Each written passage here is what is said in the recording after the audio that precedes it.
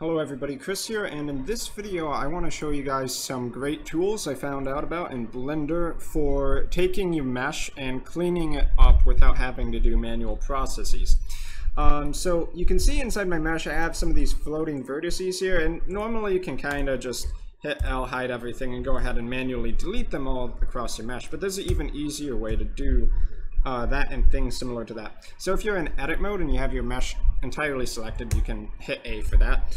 Uh, go to the mesh menu and clean up, and there's some really good tools in here, including delete loose, which will get rid of vertices, edges, or faces that aren't connected to anything. So I'm going to do that. And those vertices that were floating in there are now gone. Uh, also, in the same menu, you have, uh, I think it's degenerative, uh, degenerate dissolve which if you have any faces or zero length edges, basically um, unnecessary data in there that's not affecting your mesh in any way, you can get rid of that too. So you can see here, I got rid of four edges and four faces. And in the same menu, um, there's also fill holes. So if you have holes in your mesh, you can go ahead and click that. Let's actually um, yeah, let's uh, let's delete a face and see how that works out. Okay, so we have this empty face here. You can kind of see it.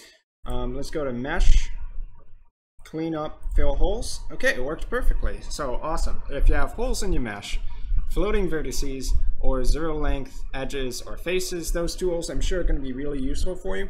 Uh, previously I was looking for them outside of Blender, but you know, Blender over the years has gotten pretty decent. So um, yeah, hopefully those tools help you out. You don't have to do things manually anymore. Just get rid of vertices the easy way using that cleanup menu. Uh, once again, it's in edit mode. Then you click on mesh down here in the 3D viewport, clean up, and pick the tool of your choice. So I've been Chris. I hope this helped some of you guys out there, and I will see you guys in my future video content.